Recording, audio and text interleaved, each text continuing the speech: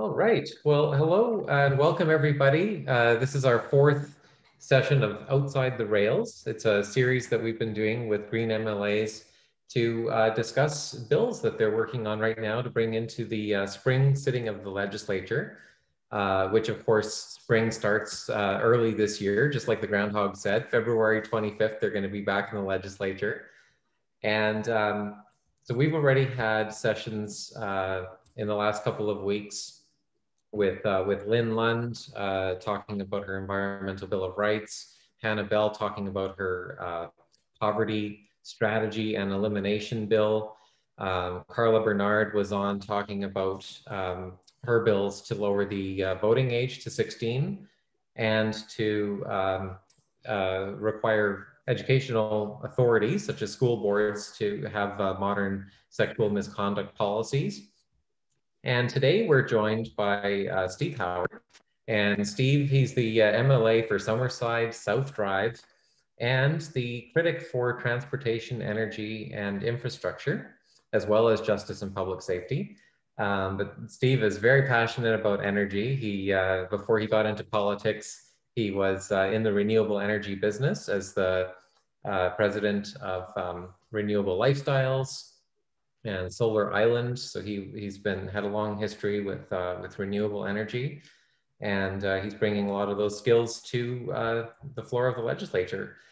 So before we get into, uh, before I pass it over to Steve, and he's going to talk about the bills that he's going to introduce to uh, modernize energy and electricity on PEI, I'm just going to talk to you a little bit about how the session today is going to flow.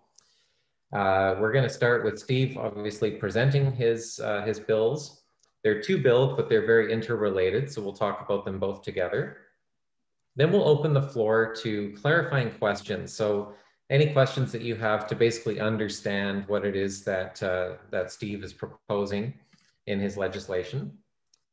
And uh, then we will uh, open the floor to just general discussion. And uh, one of the reasons that Steve is here is that he would like to get your feedback on uh, on what he's proposing, um, because that's that's the consultation phase of this legislation, and your feedback can help to improve the bill and make it uh, make it work better.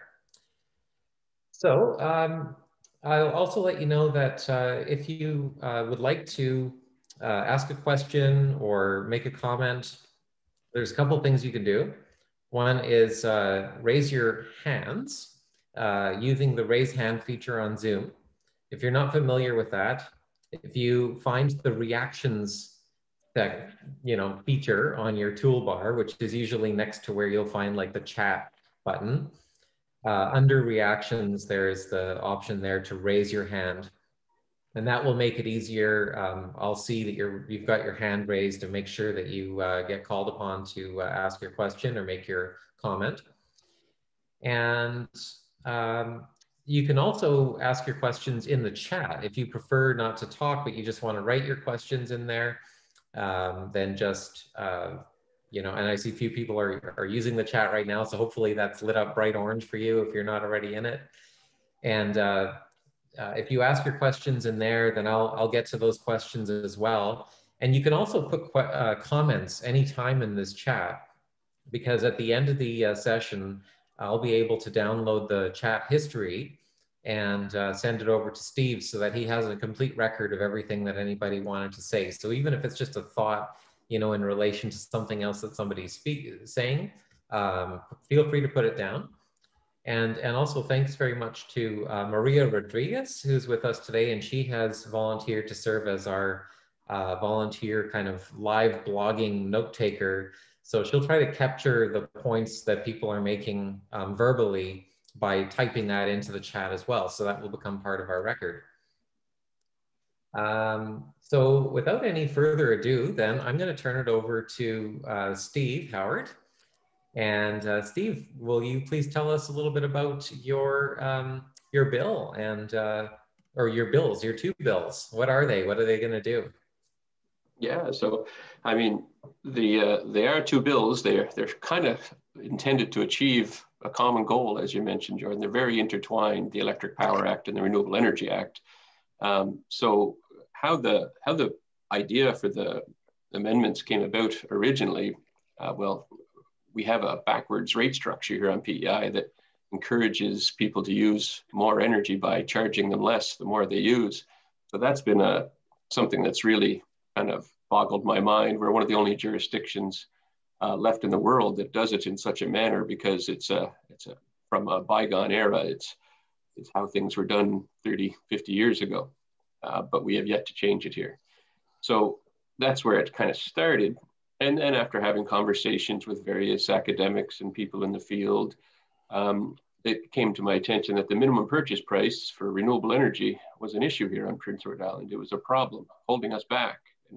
My initial reaction to the person who presented that to me, a professor at university, was, oh, well, how could that be? That's going to encourage renewable energy if we have uh, a good cost for, for wind power and solar power here guaranteed. Surely that'll attract people to, that'll want to install these systems on PEI for us. And sure enough, though, when you, and he was right, he, uh, when you dig into it, the only people benefiting from that minimum purchase price, the only business, the only corporation is the PEI Energy Corporation. There's one other private wind farm here on PEI for 100 megawatts of wind. Summerside gets a little bit of that power, uh, leases it. The rest of it gets shipped off to NB Power for a lot less than Islanders pay for the power that we get from the wind turbines the PEI Energy Corporation owns. So what that revealed was that the PEI Energy Corporation is taking general revenue from ratepayers instead of taxpayers. Um, so ratepayers include everyone, everyone from people that can't afford their food and can't afford their medicine uh, to people that have so much that they have, uh, you know, five electric vehicles and a giant mansion that they heat with electricity and, and everybody was kind of paying the same. There, there's no progressive nature. You can't discriminate through the rate structure, but you can discriminate against, well, not against, comparable to, from low income to high income earners. Those who can pay can pay, and those who can't pay, well, you don't take from them. So what we've got is a structure in place that takes that the Minister of Energy sets the price for the, the renewable energy. The Minister of Energy takes taxpayer dollars and, and funds uh, renewable energy systems that go in place. And, and now the Minister of Energy is also the Minister of Environment who decides whether those things get approval to go ahead or not. So we've got quite the conflict of interest intertwined in everything that's going on there. And what we're really after is massive public buy-in uh, behind a huge transition to renewable energy for Prince Edward Island. And that's simply not going to happen if the more renewables that go out there, the higher the bills that people receive become. So that's really at the heart of everything here is to get people involved in the transition, get them excited about getting more renewables out on Prince Edward Island and see those benefits flow to the average islander instead of into the general revenue coffers of government.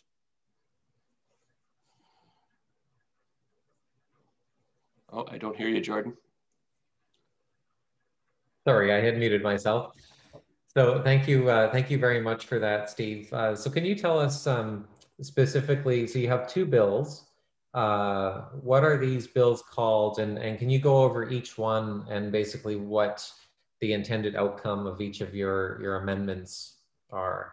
Yeah, so they're both amendments to existing acts. So one's an, an act to amend the Electric Power Act and one's an act to amend the Renewable Energy Act. Um, and an act to amend the Electric Power Act um, we have in the preamble to that act currently, it says that where energy efficiency and demand side management measures are cost effective to be used, they shall be used by the utility. And that doesn't have any effect whatsoever on the legislation itself, however. It, it implies the spirit and intent of the act. But after spending a week in the rate structure hearings in August 2019, and arguing the case uh, before IRAC as Maritime Electric sought to increase rates and put a certain rate structure in place. I went then and asked that the rate structures be brought up to date and be made to encourage energy efficiency by rewarding those who use less, who, who also cost the grid less. Like it is right in line with our cost of service regulation is what we have here on PEI. So Maritime Electric can make their returns on a certain rate class, let's in this example, residential ratepayers, but they can't make more money than they're allowed to make. And they don't really make any less money. They, they've kind of kind of got a guaranteed return. It's called a maximum return, but as we saw recently, when they're not going to make their maximum return, things change so that they can make their maximum return. So in essence, we have a guaranteed return, but that's what it is. But they, they can't take more than they should from a rate class. It's based on the cost of delivering power to that, that particular rate class. So someone who uses less power is less of a burden on the grid and it costs less to deliver power to them. So in line with the, the nature of regulation here on Prince Edward Island, those who use less power should pay less for per unit because they're less of a burden on the grid itself. But, but we're backwards. So that's a large part of what the Electric Power Act seeks to solve. And one of the reasons why this hasn't changed over the years is that we have a lot of large they didn't start out large, but a lot of agricultural users are in that rate class. And it started back when there was the, a lot of family farms in Prince Edward Island, and they they used power very similar to how a home would use power. But now they use millions of kilowatt hours a month in some of these operations. They're, they're industrial, they're, they're not even close to residential. And those large users paying residential rates bring down, like they, they're paying very little for their power and they're using a lot. So it skews the rate class. And the problem was if you suddenly shift the business model on those large businesses, it creates rate shock and panic within the, that, that industry. So it's been held up as a reason to not change at all. So one of the other things that we propose is bringing in a transitional rate class for agriculture um, that uh, still allows things to carry on business as usual for three years after those three years, that class is phased out and those large agricultural users, medium agricultural users, small, they all find their place in the other rate classes over the three years, but it gives them the time to adjust that they've been asking for. So that gets that out of there. And then we, we forbid a declining rate structure where you pay less for the more power that you use because we all, that's very counterintuitive to encouraging energy efficiency. That is also going to affect people who maybe use a lot of electric heat in their homes and things like that. So we also bring in a optional rate class or um, that is time of use, or you could call it time of wind really on Prince Edward Island. So it's based on when the wind blows, the power is inexpensive because we have all these turbines up there that are generating power. To use it here on PEI is what we want. We don't want to send it off PEI as yet. We want to provide for our own means. And then when we have extra, send it off. But the thing is, when we send it off Prince Edward Island, New Brunswick Power charges us one and a half cents for every kilowatt hour we send off. So it loses value as soon as it loses P, leaves PEI. And well, we, we want to align, align our demand, our, our consumption with when our, our wind turbines are blowing. So we want to have a rate structure in place that encourages people to use electricity when abundant, low cost renewables are available on island. And that conveniently lines up most of the time with when you really want your space heating. Your cold, windy nights, that's when you're generating all sorts of on-island wind power and uh, your power would be cheap through those storms. There'd be times, of course, where that wouldn't be the case, but it gives an option to the large users right now who might be paying, who might end up suffering some rate shock themselves. Because in the end, no one's going to pay more or less for their power overall in the rate class. It's just changing who is going to pay their fair share in this. So currently, large users don't pay their fair share. Uh, that's been demonstrated in uh, rate applications before Maritime Electric and Maritime Electric themselves have literature that, that acknowledge that. There's, if we were to simply just flip the rate structures around as I proposed back in 2019, uh, this legislation doesn't get that specific, but if we were to do that, it would benefit 80 to 90% of ratepayers residentially here on Prince Edward Island. They would all see a lowering of their bill. Uh, so it's really those, those top end users are really placing an extra burden on the low end users at the moment, and, and that's just backwards. Uh, then we have the renew. Uh, maybe I'll stop there just for a moment. Is there? Uh, there's a lot to cover here in, in these these two little amendments that I have here, but uh, it, should, should yeah, we definitely. stop? Should, so, should, we stop with one act, Jordan, and, and then so move on maybe, to the? Maybe just to uh, just to just to recap uh, the basic changes that uh, that are part of the uh, electricity, the Electric Power Act, that would um, set uh, time of use rates. Would it would it require time of use rates uh, to be set, or does it specify what they have to be like? No, it it, it the, the language that we're going to probably end up switching to instead of time of use, which in the industry tends to indicate time of day pricing. Mm-hmm. Expensive power in the day and cheap at night is the usual example. Hawaii uh, is exactly the opposite, however, because about 50% of the island has solar installed. So through the day, they have all sorts of renewable energy on island, and that's when power is cheap. And it's at night mm. that, that they're in Hawaii that power is expensive. But that's not what we're after here. The wind is very intermittent, and that's what we have lots of. Sun's sort of reliable, you know, when the sun's up and when the sun's down uh, every day. Um, but the wind is very unreliable. So our rates would be much more dynamic and it's going to require some smart grid infrastructure, which Maritime Electric, according to their integrated system plan, they've released plans to do regardless. So we're going to have that mm-hmm. infrastructure rolling out. Now we need to make sure we have legislation that uh, calls for it to be used properly, essentially. Okay, so it's it's going to do it's going to do that.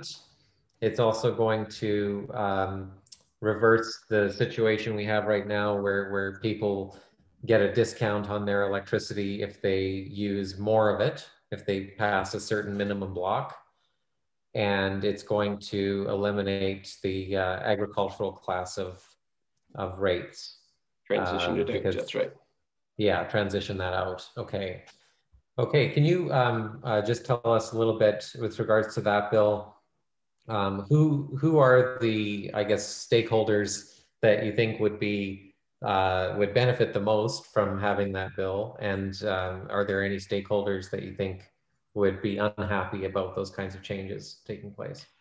Well, really, it comes to that 90%, 10%. Those 10% of high energy users are going to see an increase in their bill when their the rate structure kind of flips around.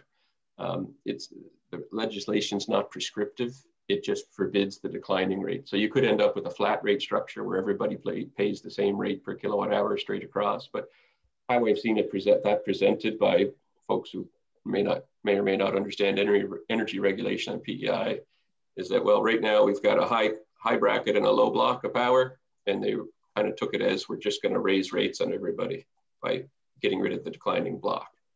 But as I mentioned earlier, Maritime Electric's not simply not allowed to just take more from a rate class. So if they mm. raise this, they, they will have to lower this. So in a flat rate, you'd have an evening out like this.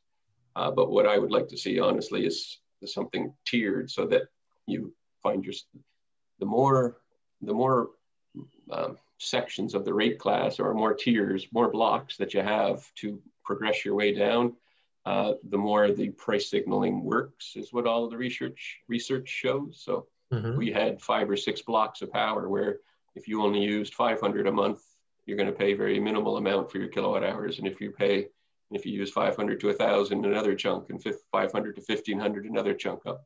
Those send the kind of price signals to people that really affect consumer behavior and get them thinking about using less. Mm-hmm. Um, some people simply can't use less, and that's a, that is a fair point uh, for some to make. Uh, but overall, it, it just simply will not have an increasing effect. It cannot have an increasing effect on the overall cost to the rate class to, to residential islanders. So I yeah. hope I would hope that moving forward, um, you're going to see uh, a rate class that that does have that inclining rate structure to it.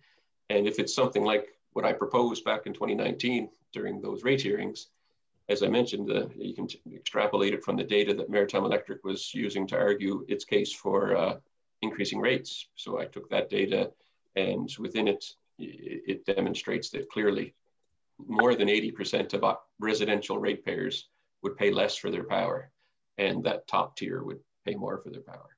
So those are the, the stakeholders really in, in the, major change in this legislation.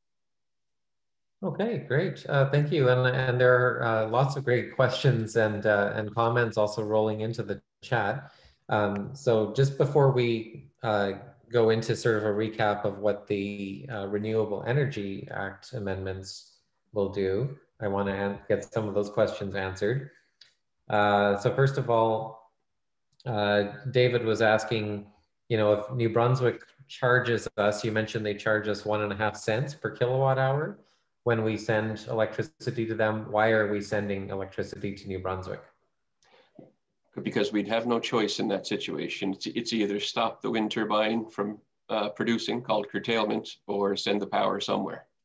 Um, so in many places, when you have an overcapacity of wind, they will simply curtail the wind. They'll turn the wind turbines off and make no power. There's other situations where the cost of power can go negative, such that if you feed power onto the grid, you have to pay. So it's to avoid those kinds of situations. New Brunswick Power has been offering since the beginning of Prince Edward Island putting up its first wind farm, balancing fe features on the grid for free, no charge, uh, mm. which has been a mm. huge benefit to Prince Edward Island. Thank you, NB Power.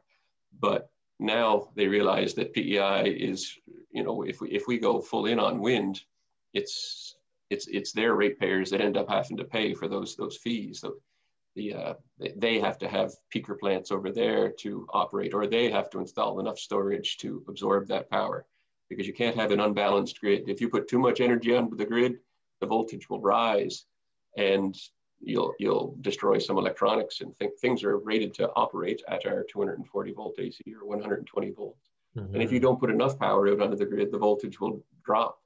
And then you have higher current that happens, which heats up appliances. So over voltage, over current, it's essential to keep your, your grid in a balanced state. And that's what NB Power has been offering to PEI free of charge, but it's very much not free. Uh, mm. This is this is the problem that on-island storage can solve. Okay, so that maybe gets into uh, Amy's question. She's asking if, like, if we're currently producing um, excess wind energy, and I guess she's she's asking first of all, how much excess wind energy are we producing? And uh, you know, if we're having to pay for it and, and it is excess, then why are we looking to install another 30 megawatts? Well, it's a it's a fair question. Uh, I would say one of the reasons is that they're charging that minimum purchase price. The, uh, the minimum purchase price as it is was set back in 2004. And since then, the cost of wind power farms has gone down about 80%. Mm-hmm. The price has stayed exactly the same. So originally, it was intended to make sure that the province doesn't lose their shirt whenever they, or anybody doesn't lose their shirt when they install a wind farm. American Electric has to buy it, and they can't say, "We'll only give you two cents for it." It has to be seven and three quarter cents is where it starts, according to this minimum purchase price uh, Alberta just awarded a wind contract last year or so, and I, I think it was 2.6 cents per kilowatt hour um, that they're paying for that, that modern wind farm that got installed. So since the, the price was installed, the, the, uh, the profit margin went up drastically for the PI Energy Corporation. Mm-hmm. So compared to a wind, turbine, wind farm installed five years ago uh, that had no balancing fee associated with it, no one and a half cent fee, you now have something that costs less to install, but you have the one and a half cent fee. So the finances still make all sorts of sense for PEI Energy Corporation to go ahead and put that 30 megawatts in to continue to make money off of the back of rates pay, ratepayers. However, uh, I would very much point out that we still have 100 megawatts of wind sitting on West Cape that Maritime Electric refuses to buy power from, even though they would offer that power gladly at the minimum purchase price and absorb the one and a half cent fee, um, but they won't even go to the table and speak to them. So obviously wow. we, we need a bit of a stick to encourage that. That's interesting. Okay, so we've we've got uh, a couple more uh, people who want to ask questions. Uh, Rita, uh, you have a question. Would you like to unmute yourself and ask? Yes, uh, thank you. I have a question about the agricultural producers. Now, they have been given a good deal because they do have to use a lot of electricity. But I, I want to know if you have consulted with the National Farmers Union and with the um, supply managed producers. I believe that if their costs go up, they can raise the prices. So, for example, milk, eggs, and poultry are all supply managed. So, if their cost of production goes up, they can increase the cost of, for example, milk, eggs, and chicken. Now, have you talked to them? Is that the case? Because we don't want to um, destroy farmers that are producing milk and chicken and eggs because we need it. Absolutely, we do. Absolutely, we do. And and yes, is the answer. I have not talked to chicken and egg producers. I, I'll admit that, but I have spoken with the Farmers Union. I have spoken with the Federation of Agriculture, and I have spoken with the Dairy Farmers Association. I spoke, sat down with a particular dairy farmer that shared his uh, energy usage and uh, how, how his farm runs with me, and we figured out what flipping around rates might do to his farm, for instance. And it it added the cost of production to. Yes, it did add cost to him. It was 10 cents per kilogram of uh, quota, kilogram of butter fat uh, quota that they have. Uh, so instead of making about five dollars profit on a kilogram, he was going to make four dollars and ninety cents, kind of kind of thing. And my my reaction initially uh, that gets worse the larger the farm is. Uh, it does get worse. That was a seventy um, cow farm, I do believe, herd. Uh, but my reaction was, oh well, that's not too bad. And he immediately said, well, I mean that's doesn't sound like much, but when you multiply that by every day, I'm getting that much less. And I said, oh, that that's not what I meant. What I meant was what it's an easy problem to mitigate with other measures, whether it's getting you some energy efficient equipment or getting you some renewable generation equipment on your farm. Uh, we have two problems we have to solve. We have to transition our island and we have to make sure our farms are protected. So in the dying hours of the legislature uh, last time round, I put forward a motion to make sure that we bring fo forward incentives that uh, allow farms to transition to those kinds of things because it's two problems at once. Uh, it deals with that, and we already know that we need to do a lot more on the transition side of things. So let's invest in farmers, let's give them a new revenue stream, and let's let them lead the way on that part of the transition uh, while doing all sorts of other things as well. But uh, the bottom line is the farms that really use a lot of power, they, they're not these dairy farms, uh, or possibly the largest dairy farm, but millions of kilowatt hours a month in the residential class. So it's uh, we're not talking family farms there. Mm. Okay, thank you uh, for that great question, Rita. I'm going to go to Roger. You have a question. Hello, can you hear me? Yes, we can. Uh, hi, hi, Steve.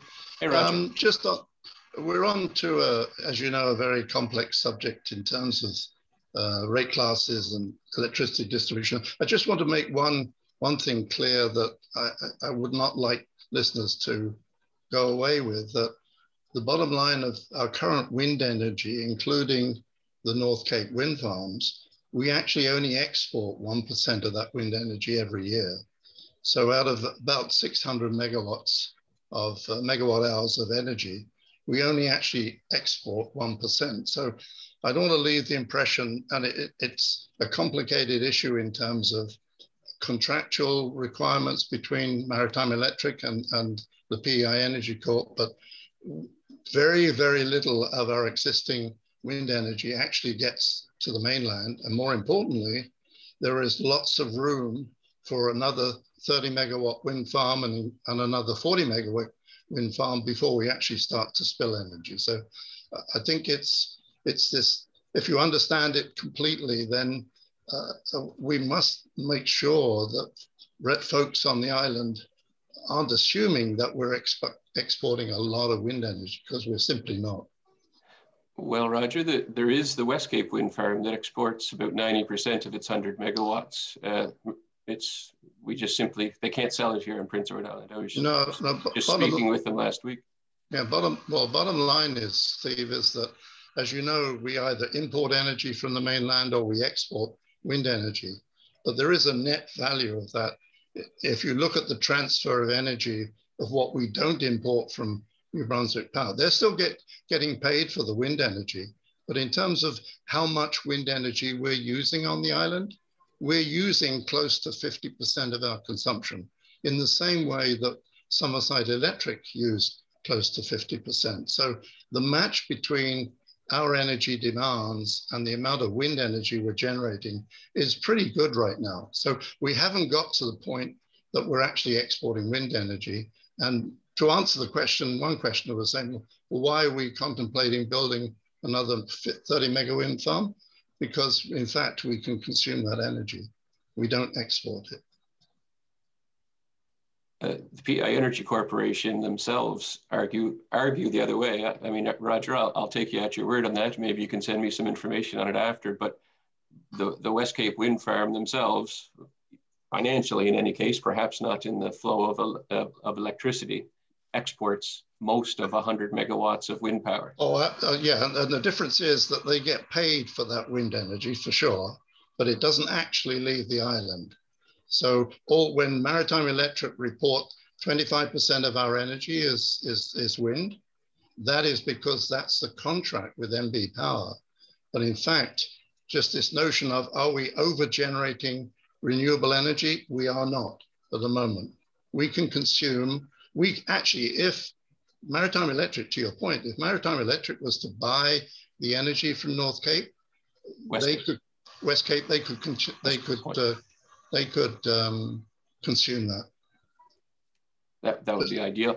Um, no, no, they are. I mean, the, the, one, it's fantastic, Roger. I look, I look forward to the info because one of the arguments uh, against getting rid of the minimum purchase price is that the poor PEI Energy Corporation is going to have to pay these balancing fees for every single wind farm moving forward to NB Power.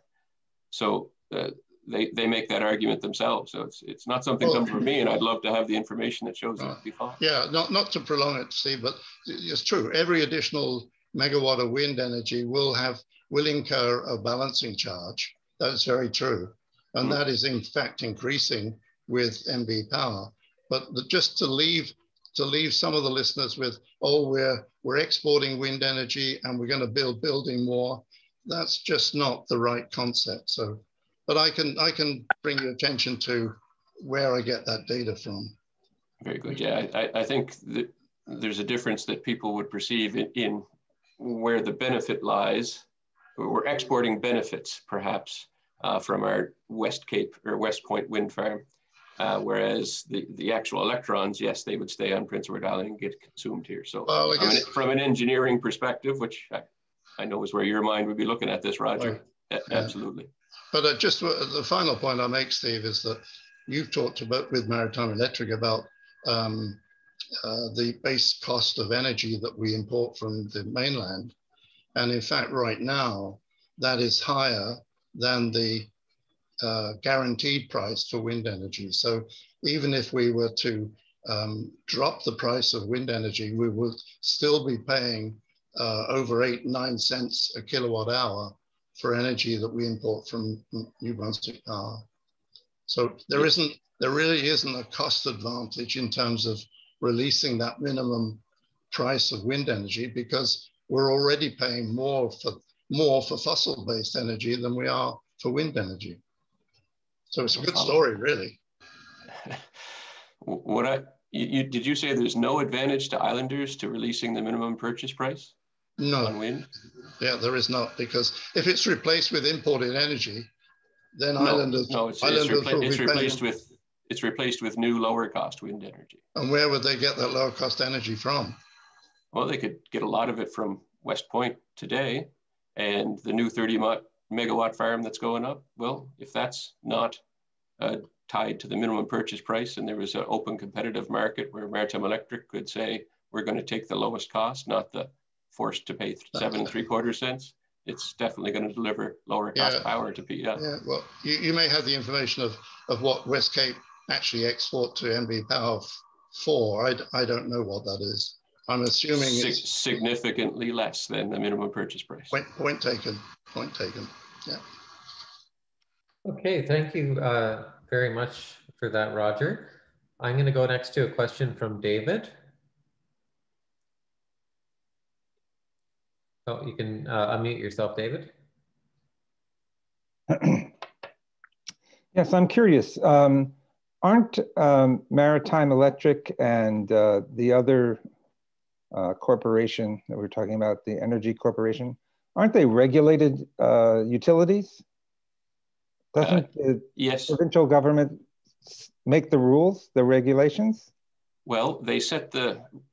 Are we talking about electric rate structures themselves well, too, David? I'm, what I'm talking about general. is that Maritime Electric, you said, or I understood, is refusing to buy from the North Cape. Mm-hmm. Well, it, can't they're allowed to refuse it. tell them? Can't Well, Yes, you can't could. refuse. You have to do it. It's, we're Yes, that- regulating you. Yes, you could you could do so. And in in fact, if as Roger indicated, the cost of that wind is less than the cost of what we're importing from NB Power, it is their obligation to provide low cost power. I just had a meeting with Maritime Electric Monday, and that is if we can access lower cost power, we will access that, Steve. Um, so if indeed there's lower cost power sitting there, and the, the West Cape wind farm or West Point wind farm as power that they could, they're, they're, they're about to enter into a new five-year contract with NB Power starting this fall, and yet nobody on PEI will talk to them other than the city of Summerside, and they're selling it for pennies off island to NB Power. So ratepayers and NB Power, uh, it's probably going off off island to NB Power, and then they're selling it back through uh, nine or ten cents to us, as Roger indicated. So they're selling us our own power back uh, not our own power, uh, ENGIE that owns West Cape's West Point's Yeah. wind farm. So does the provincial government have the ability to say, we won't accept this deal? You have to sell us? Oh yes, I mean a majority government and legislature could pass any sort of uh, powers they want. They, they have pretty much absolute power on Prince Edward Island within the rails of that legislature with a majority government. The answer is yes to almost everything. They could pass a law that, yes, absolutely. And So- under our current regulation, even David, that yes is the answer. They're supposed to be delivering it at low cost power to islanders as they can. So why would the majority government not want Hmm. us to? oh, It's, it's, it's, it's, it's a good question, David. Let's Uh, look we- at who, who has shares in uh, these companies. well, the PEI Energy Corporation that uh, benefits greatly from the minimum purchase price um, does not want to see competition. If the private industry was allowed in to compete with the PEI Energy Corporation in a fair market, uh, they would have to make an awful lot less money, is just a truth. Mhm. Whether that's the reason or not, I couldn't tell you, but that is the truth. And the sole beneficiary of the minimum purchase price on Prince Edward Island is the PEI Energy Corp, who the Minister of Energy sits on the board of and is the person responsible for setting that regulation. So they set the price that only they can access. Uh, personally, I see a huge conflict of interest there.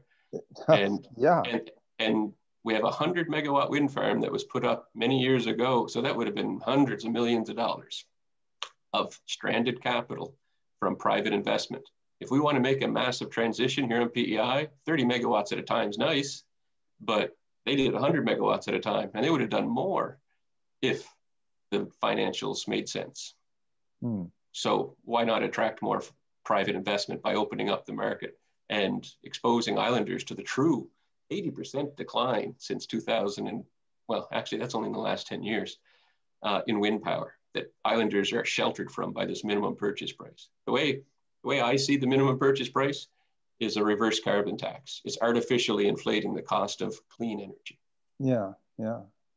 Thank you uh, for that, David. I'm going to go to a couple other questions. Um, we've got uh, Omer and then Matt and uh, and Barbara, and then I'm going to ask you to quickly tell us about the Renewable Energy Act amendment, which is kind of a simpler concept, but it's also it's a very important amendment that you're looking to make with some some really uh, hefty targets, and uh, then we can get into some discussion about that as well. Well, we first of all, talked- um, oh, sorry. Uh, were you going to say something, Steve? Nope, I thought you just wanted me to carry on to the Renewable Energy Act there. You keep going, Jordan. I'm gonna I'm gonna take take a couple questions that are coming in right now here. So uh, first of all, Omer. I'm going to make this quick. So, the concept of renewable energy really fascinates me, but what fascinates me more is the concept of being self reliant and talking about off grid systems rather than grid tie systems.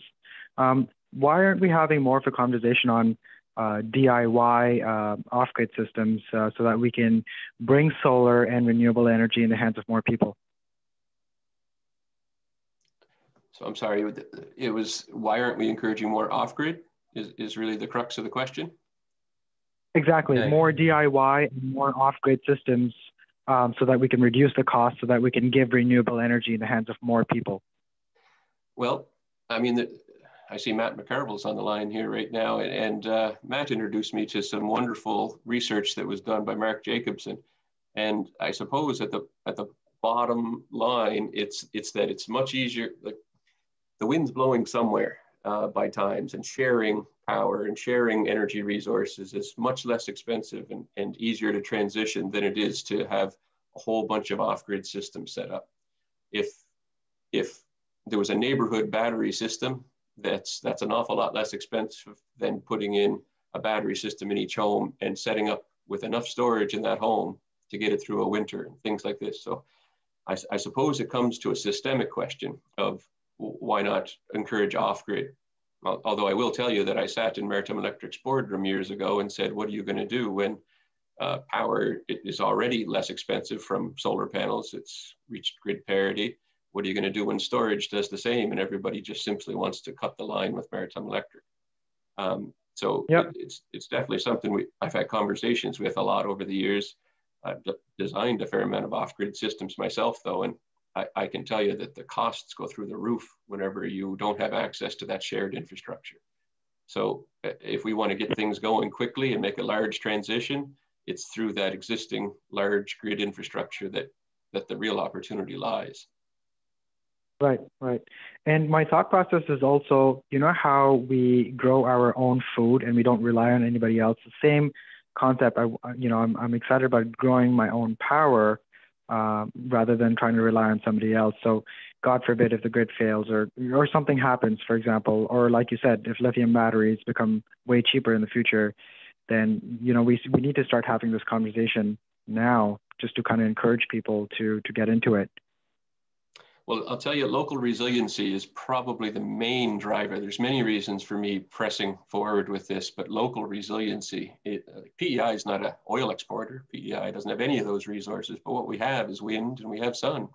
Uh, we also have water, sure. but uh, that, that's not really a benefit to us as yet. Uh, there might be a hydrogen economy start up that where suddenly access to all that water is going to be a wonderful thing. But we're not even close to that yet. But what we do have is lots Perfect. of sun and wind. So local resiliency. If we want to be locally resilient, we have to rely on what we find within Prince Edward Island. Um, so that's that's the heart and soul driving this for me. There's also the there's the climate uh, aspect of things for sure. There's also the economic aspect of things. Uh, whenever we are uh, not sending tens of millions, hundreds of millions of dollars off island to resources that lie elsewhere, we're, we're economically more resilient as well. So if, if we have a superstorm blast through here and we have a whole bunch of distributed generation and storage and electric vehicles and things like this, we're going to be far better off than if we have in the old days. Uh, I mean, Summerside Utility back in the day is a fantastic example of what I was going to talk about with resiliency. The reason we have Maritime Electric is because a big storm swept through, uh, knocked down a bunch of lines on Summerside Electric that used to serve far beyond its borders uh, as it stands now and they sold that to the Maritime Electric for one dollar, uh, and then government gave Maritime Electric a bunch of money to fix everything. Uh, so to avoid those kind of situations where you just look at something and you say that's not even worth fixing, it's so that's what a, what a terrible mess. We need to become far more resilient as, as an energy structure here on Prince Edward Island. Okay, thank you very much for that, Omer. Okay, go ahead. Okay, I'm gonna, because um, uh, our time is uh, passing us by quickly, I'm gonna um, go over to uh, Matt McCarville.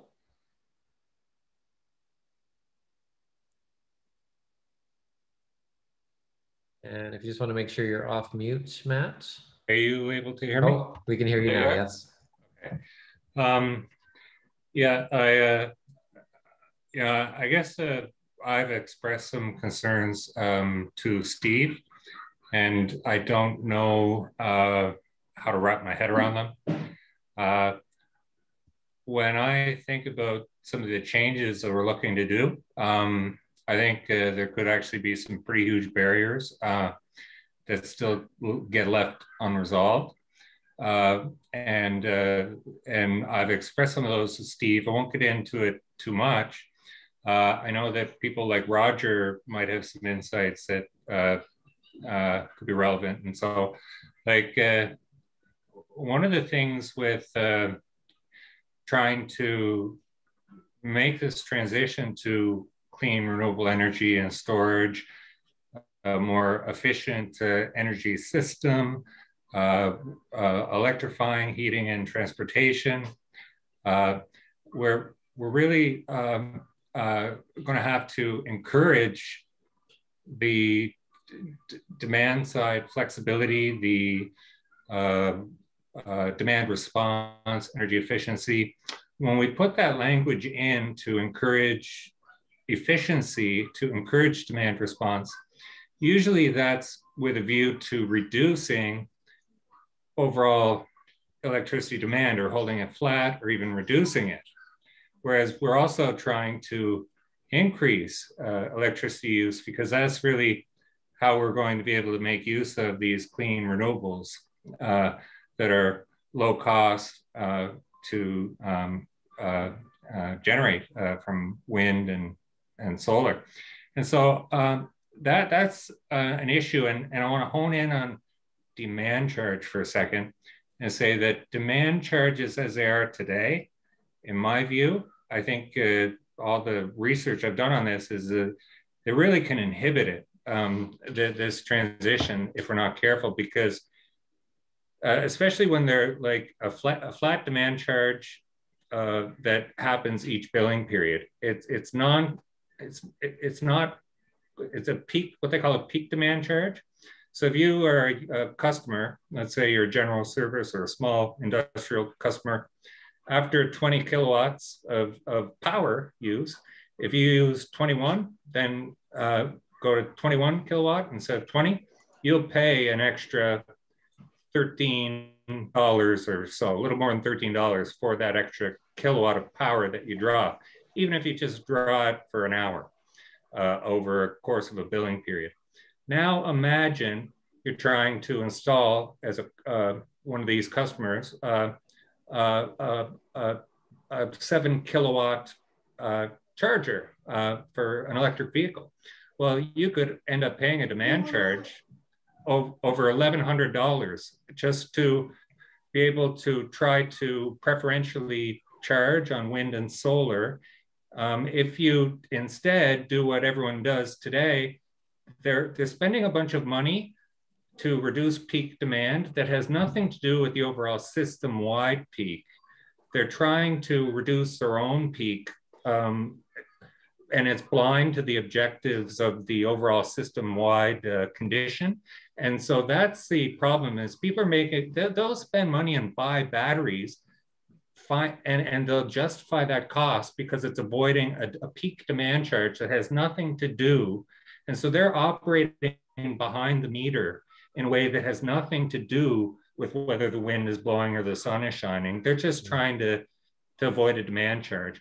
And, and so what that's going to mean is um, if the regulatory framework is reactive and, and, and trying to sort of address issues after the fact, they're never going to get to an issue where, you know, oh, we've got a bunch of electrification because that's not ever going to happen. Uh, so that's a, a, thought. I want to put it out there. And there are approaches to work around it where, where the regulators sort of have a, um, uh, an approach where they're sort of future-based approach rather than a reactive approach, where um, you sort of get rid of that demand charge and you've still got to cover the distribution and transmission costs um, in the you know, in, in in your market design or your rate design.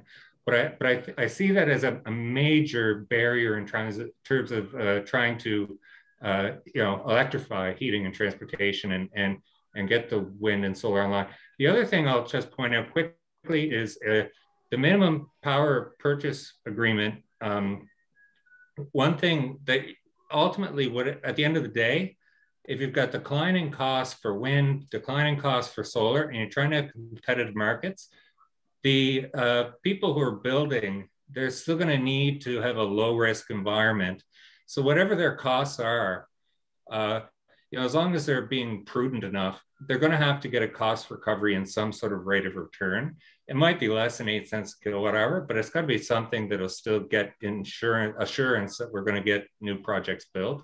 So we're still going to need maybe, like in Quebec, they're moving forward with contracts right now based on 30 year uh, agreement for wind. And, and so I think that that uh, stability is what's going to, you know, even though you can have dynamic pricing, at the end of the day, there's got to be some sort of a settling done so that we ensure that they're recovering a, a fair rate of return. Maybe it's less than 8%, like for 9% that the utility always gets, but maybe it's something like 4 or 5%. Anyway, that's it. Thank you uh, very much, Matt. And so I'll, I'll ask Steve if you want to um, respond to to some of those uh, ideas that Matt just presented. But this might also be a good time since we we have less than ten minutes left on the clock, really here, to to talk about the targets uh, that you're laying out in the Renewable Energy Act uh, amendment, so that we can get that on the table here as well, in case anybody wants to um, bring anything up about that. Sure thing. I mean, I'll address Matt's concerns there as well. Uh, so one of the things that the legislation does propose is bringing in a, a rate structure based upon uh, the availability of on-island renewables. And through our existing regulation, uh, the utility, as I've mentioned earlier in this um, presentation, I suppose, uh, they just simply can't just make more money. Uh, if there's more demand there, um, and they're raking in extra dollars, uh, then the regulator, if they're doing their job, will come in and say you can't charge that much for each unit of demand. They'll say you can't charge that much for each unit of energy. What that rate structure ends up looking like exactly is not prescribed within my legislation, but that is exactly what it's after is a rate structure that encourages on-island consumption when island, on-island renewables are available. So I would hope through a strong regulator that that, that, that concern of yours is addressed there, Matt. Uh, and the other thing I'd add to your second point of getting rid of the minimum purchase price and having to have a rate of return for any developer, uh, absolutely. But that'll be up to the developer to determine, and they'll sign a 20 year or 30 year or 10 year, whatever that contract might be that they find satisfactory.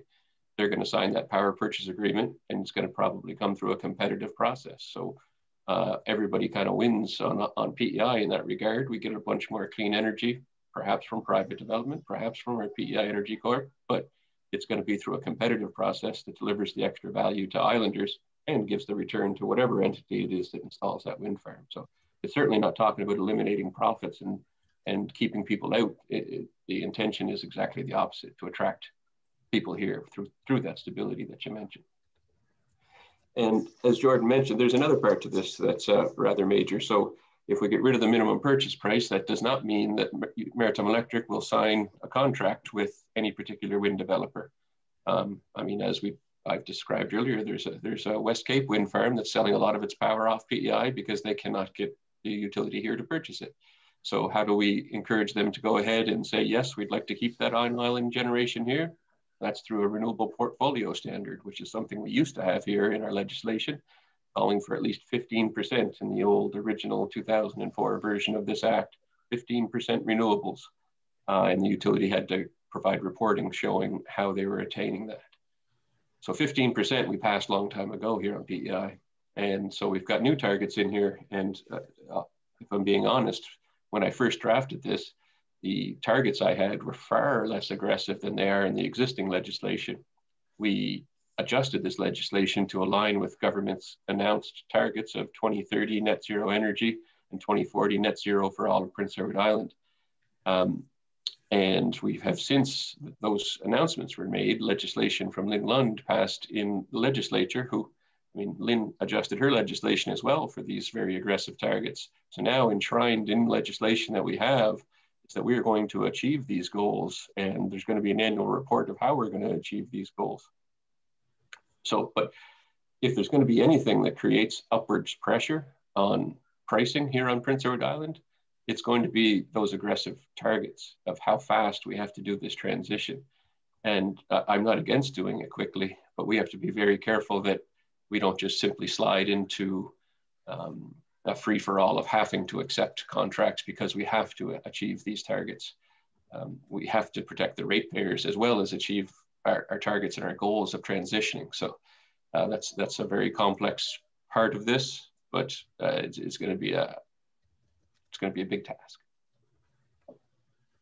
Okay, thank you, Steve. And so uh, just to specify there, the, the targets that you set are 100% renewable by 2030 and 50% by 2025. Is that correct? That is correct, yeah.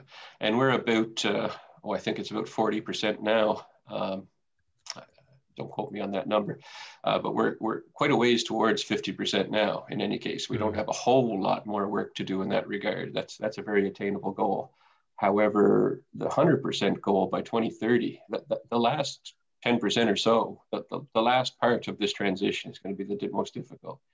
Uh, so it's quite possible that we'll get to 90% and find that it's just not economically feasible to do that last 10%. But you know, that's that's leaps and bounds ahead of where we are today. And if we don't shoot for the target, then we will fall far far short of it. I think so. Mm-hmm.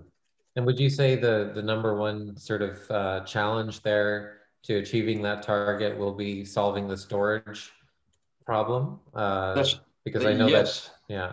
Hmm. Yes. Um, so the other thing that these, these changes accomplish, uh, if we have dynamic pricing, meaning prices are higher at certain times of day when the wind's blowing, let's, let's just use for an example, if that's where we end up. The wind blows, power is cheap. Well, suddenly it makes an awful lot of sense to have a smart charger installed for your electric vehicle, uh, which is a form of storage. It, it makes an awful lot of sense to do what Summerside's doing here and have, I, have got a big hundred and some gallon hot water heater in my basement that when the wind turbines blow in Summerside here, uh, it's programmed to take that energy when it's available instead of Summerside being forced to sell it off into the market for an awful lot less than they'd sell it to me. Uh, so it works for Summerside, it works for me, and it, and it benefits the grid. And contributes to that overall grid stability. So all those kinds of things, whether it's thermal storage, whether it's electric vehicle storage, whether it's home storage, uh, we need, whether it's neighborhood storage, whether it's grid scale storage, PEI needs all sorts of storage. And what a rate structure does that if you had a battery in your basement, let's say, you could charge it up at night when power is cheap, or when the wind's not blowing when power is cheap. And then one of the other things this legislation does is include storage in the net metering rules, which means you can send power out to the grid. Uh, you'd have to follow all sorts of regulation and things like that in order to be able to do so to protect linemen, etc. But um, you could buy cheap and sell expensive. So it suddenly it creates a revenue stream from home storage or perhaps from your electric vehicle. Um, but those kinds of things are encouraged with changes as proposed here. Okay, thank you, Steve. And since we're, we're almost at eight, and, and I know there's uh, more questions that have been posted in the chat, um, I just want to check, Steve, are, are you able to stay for another 10 minutes or so just to uh, answer some more questions? I'm good, yeah. Okay, great, thank you. So uh, I'm going to go to Luciano here. I know he's been waiting for a little while to uh, ask a question. Luciano, do you want to go ahead?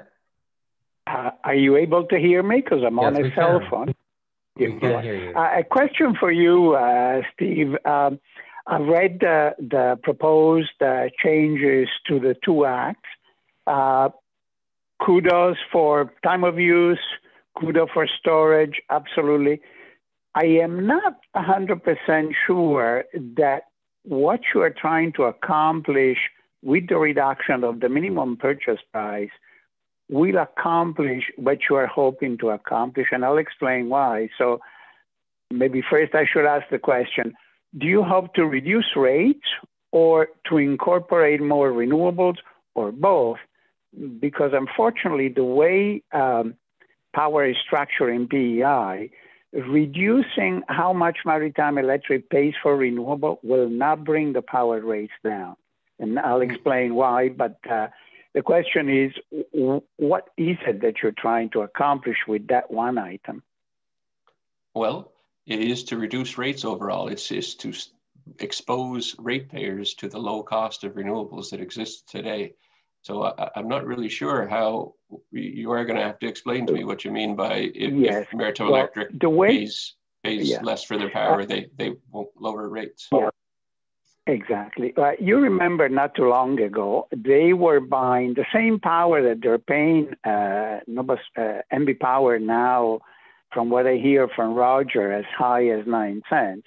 Not too long ago, they were buying, uh, you know, they have a long term contract with Dalhousie. They get the nuclear 50 megawatts out of that. And for that, they pay very low rate, two, three cents a kilowatt hour. But yeah, not too long ago, they were only paying uh, five cents, five and a half cents. But they're also paying for ancillary services. As you mentioned earlier, they actually provide PEI with um, ancillary services, frequency, voltage, uh, uh, they do load following, all the things that Nova Scotia Power needs without firing their LM 6000, which they have in Charlottetown. Otherwise, they would have to do it themselves. But basically, the way their rate is structured is anything they purchase in terms of electricity, whether they buy it from the PEI Corp or from NB Power, for them is treated as if it was fuel. It's a pass through. They pay a cent, they put in their budget a cent. They pay nine cents, they put nine cents. It's a pass through. But the biggest portion of their uh, uh, cost is maintenance and overhead. Big, big chunk. And then, of course, there's profit, 9.5% over their capital investment. That doesn't change. How much they pay for electricity doesn't change that. Whatever they have invested, 9.5% every year until the amortization is complete. And whatever they spend every year on operating and maintenance and overhead, that doesn't change. That stays in the rate. So let's assume that they were paying less for the electricity. You would not see the current rates go down in any manner that island ratepayers would notice. You would not. You would see a small marginal reduction. But if you want to reduce the power for uh, island ratepayers, there are ways, and you have to change the structure of how electricity is produced and delivered in PEI. And basically, you take an example from what happened in New England, where the governors of Green New England, way, way back, they told the utilities, you can produce energy or you can distribute it, but you can't do both. It's one or the other. If you want to distribute it, great, then you have to buy in the open market. And if you have a target of net zero, then buy from renewables. But otherwise, you can't be both. And the problem with the rates in PEI is that Maritime Electric is both. It's both a producer, although they don't produce very much, they buy, and they are a distributor. So that would be my suggestion as to one structural change that can help. The other thing is that if you want to incorporate more renewables, push the government to open it up to more and more producers. Why aren't farmers producing and inputting into the grid at a decent price? If they need to be competitive, choose a feed-in tariff that makes it interesting for the ratepayers but pays them back. Why aren't more small businesses able to do that? Why isn't there more open access to the production side of renewables? it makes no sense that a government agency, which traditionally something everybody frowns upon, oh my God, a government agency is actually running a business. Um, why is that the only player in this uh, in this electricity generation system? Those are fundamental structural things that need to change if one wants to arrive long term at energy self-sufficiency. And for PEI, 200, 240 megawatt of, uh, of high demand, it's a breeze. I mean, in some of the large jurisdictions in Boston, they would wake up in the morning, turn their coffee machines, and that's 250 megawatts. It, it's not a difficult uh, thing to accomplish. It's the will to do it and how to do it, the, the execution of how you do it.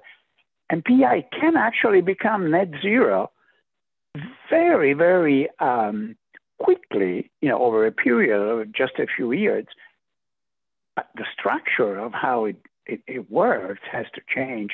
And I, I, think the other two items you're putting, the changes you're putting, absolutely. Uh, storage, you know, PEI actually manufactured uh, battery energy storage systems right in Montague, at Poole's Corner.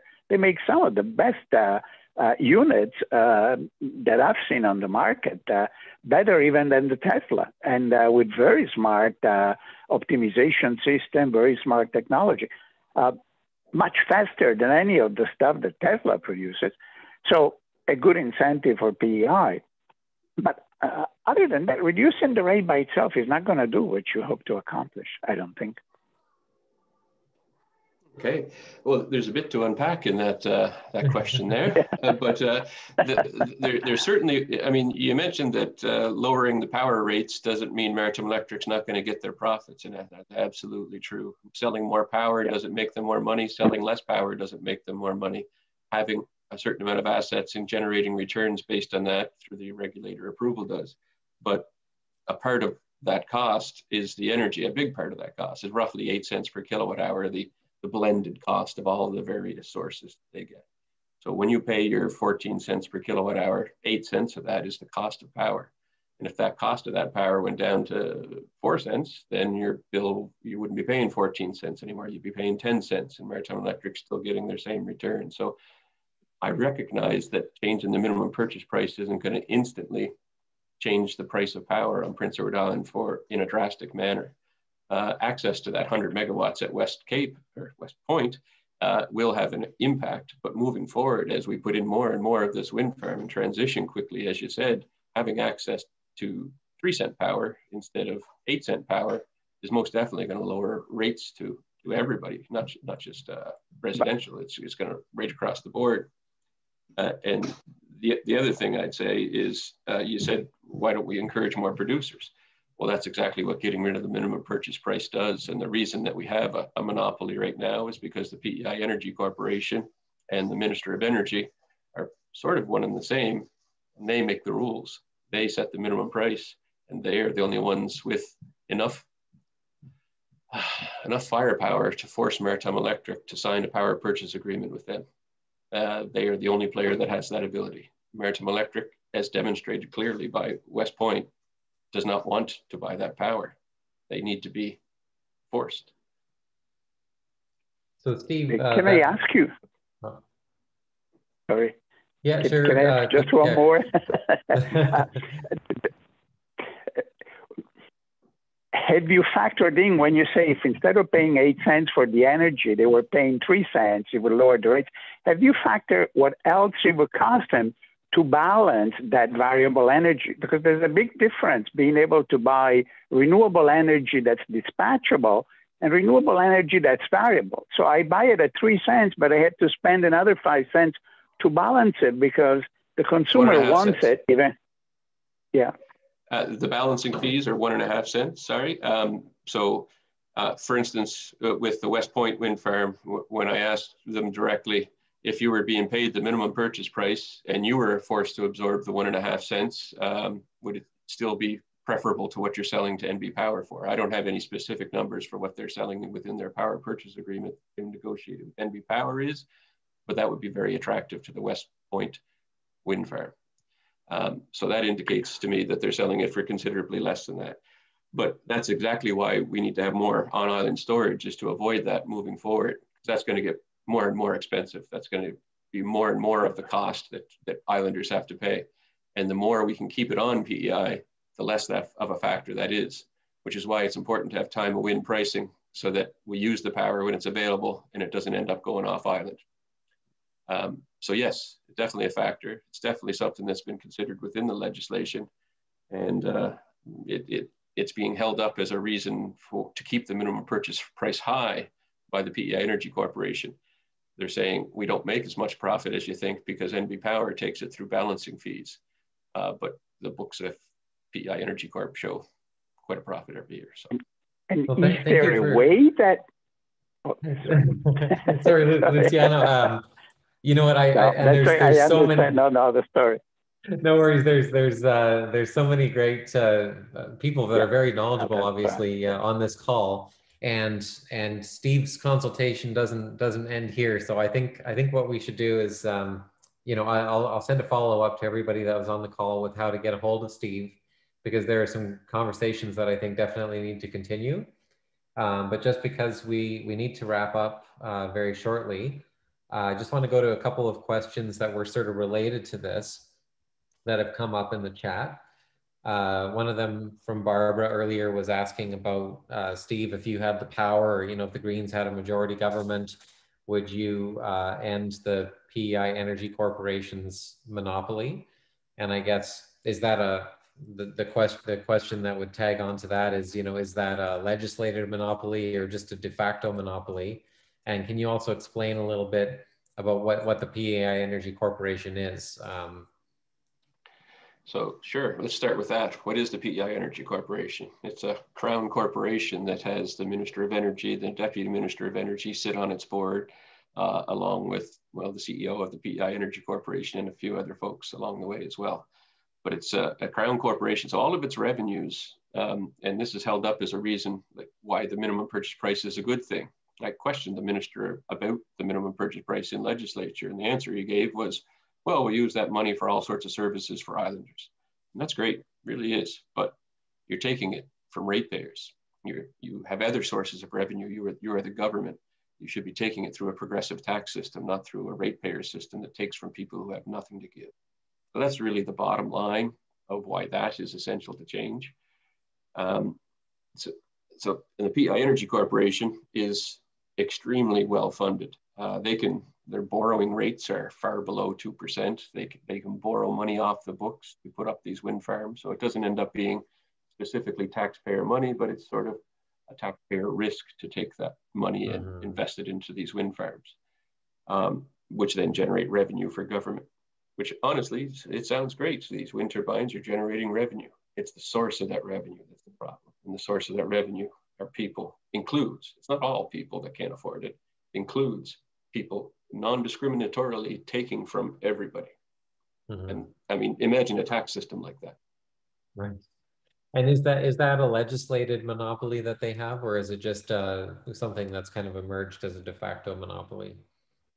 It is the the Renewable Energy Act within it says that the minister has the the, the, the legislation for minimum purchase price, and that says that the minister gets to set that in regulation. That was set back in 2004 by the minister at the time, and it's not changed since. Um, okay. It's something that should be revisited and, and reduced as the cost of installing a wind farm goes down. Um, that just makes sense. Any, anybody can understand how that would correlate with each other. If it costs half as much mm-hmm. as it used to to install a wind farm, the minimum purchase price should probably be half what it used to be. Uh, but in terms of the uh, in terms of the role of the energy corporation itself, uh, is does does it have because it's been referred to as a monopoly? Does it actually have a monopoly uh, in a way that that would need to be changed by legislation to open it up? It, it does not have a monopoly okay. per se. There's, there's no legislated monopoly. Okay. Uh, the PEI Energy Corporation has recently become an actual utility itself. So, so all new generation assets moving forward, instead of Maritime Electric now buying a new generator, PEI Energy Corporation the government has first right of refusal on buying new generation assets. Mm-hmm. And the reason, one of the reasons for that is because they can borrow at less than 2%. Whereas if we get it through Maritime Electric, we pay their shareholders their 9% guaranteed return. So we pay an awful lot more interest when we let Maritime Electric buy it, essentially, than when the PEI Energy Corporation buys it. Now, right. the, the, other aspect that uh, PEI Energy Corporation has entered the monopoly that used to be Maritime Electric's is in regard to demand side management and energy efficiency programs. So they are now allowed to do things that encourage what this legislation is kind of seeking to achieve, shifting loads, sh shifting demand to align with um, our, our, production. So when we have power available is when people want to use it. That, that's good for the grid. Uh, aligning consumption with production, that's, that's what a grid operator wants to see.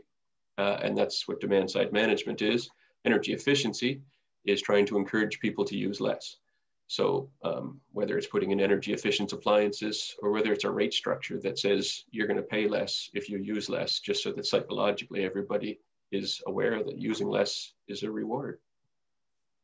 Great, thank you. And just uh, one more question here. Good question from Pauline before we say goodnight. Um, so she refers to the Community Sustainability Fund, which appears to be encouraging communities to become energy resilient and she's wondering whether you have any thoughts about whether things like micro hydro, uh, uh, could become a thing again. She points to a project in Breadalbane, small hydro dam. I mean, hydro is wonderful. Um, I looked at buying a property myself that had a little pond on it and a dam, but the, the real bottom line on PEI is this, there's not much available. When we're talking about these transformative kind of large changes, hydro is not the solution for us here on PEI. Um, it's, it's good, don't get me wrong, um, but there's just simply not very much power available because the, the, the, two ways that you make power with hydro is either fast flowing water or fire dropping water. And PEI has none of either of those. Okay. Okay. Well, thank you. Oh, uh, I'm sorry, but th there was more to that question with the Sustainable Communities Initiative that's there. Yes, of course. Uh, yes. absolutely. We, we I, I would like to know more about that program. What's what's the budget for that program? What I questioned the minister in the House about this and said uh, it seems to be all energy related, yet uh, I, I haven't heard of anything. What's going on with it? And his answer was, it has nothing to do with energy. I don't know where you got that idea. Well, if you go to the website, the very first thing is talks all about an energy transition. It talks about nothing else. Hmm. But uh, I, I, have no idea how many applicants came in. I've, tried to get that information. Who's going to, uh, what kind of projects are in development, what kind of budget, what kind of help they can expect. I watched a webinar that the minister and his uh, his helpers put on there once, and the question was, "Can I put up a greenhouse? Would that qualify for your program?" And yes, was the answer right away. Um, I have no idea what that program is actually accomplishing. It's it's exciting on the on the surface, where you you think of a whole lot of communities developing their own energy solutions. That's that's exciting. I, I love that. But what the heck is it? Mm -hmm. Well, thank you uh, very much for that, Steve, and thank you, everybody. This has been uh, uh, there's a lot going on in terms of electricity. It's a it's a complex one. I know one that uh, I was trying to wrap my head around some of the different uh, complexities involved here, and uh, like I said, we had some have some very knowledgeable people on the call today, so that's wonderful. And we're going to have a big long chat to export uh, and and a lot has been written in the chat. Um, so, uh, like I said, we were we will follow up with uh, information on you know how you can get in touch with Steve uh, if you want to continue on this this conversation. If you have some more questions, if you have some more suggestions or or things that. Uh, uh, that you think could be improved in the draft legislation that he's that he's proposing and uh, we will call it a night tonight. so thank you, thank you very much once again, and uh, make sure to tune in for our next couple of uh, off the rails sessions. Uh, we've got one coming up tomorrow with Trish Altass. She's our health and uh, wellness critic, and uh, she's going to be proposing some legislation to reverse changes that have been made in 2018 that gave the Minister of Health the ability to basically uh, change any implementation of uh, operations or, or, plans at the health PEI level. Um, so, uh, so she's she's looking to to return the authority over our health system more to the the experts, uh, kind of like we've been wisely doing during COVID. Uh, so that'll be an interesting conversation there. And next week on uh, Wednesday the seventeenth, we've got Ole Hammarlund and Ole has uh, a background as a green architect, and he will be talking to us about the importance uh, and potential of net zero buildings. Uh, if we were to um, start building more net zero buildings, both uh, publicly and privately, how that could contribute to our uh, climate change goals. So very interesting conversations. I hope you'll join us and uh, we'll be in touch. Thank you. Good night, everybody. Good night.